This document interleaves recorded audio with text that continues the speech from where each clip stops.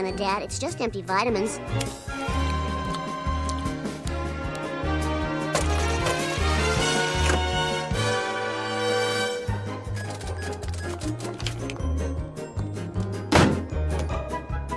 Lucky for you, this stuff doesn't work.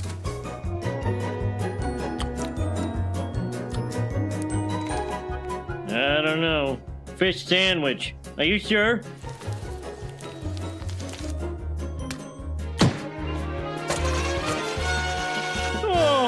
225? That means I lost weight! Homer, you're, uh, on the towel rack. Woohoo! Four more pounds and my dream comes true. Working at home.